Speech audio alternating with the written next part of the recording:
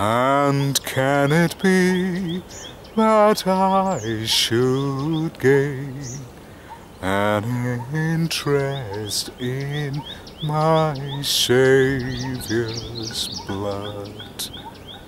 Died he for me, who caused his pain, for me who him to death pursued.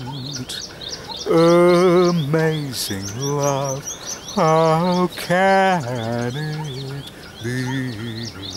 That my God, shouldst die for me?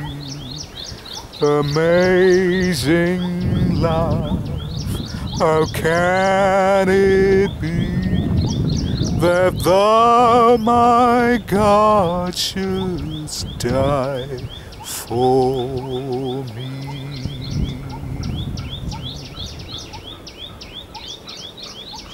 Amazing love.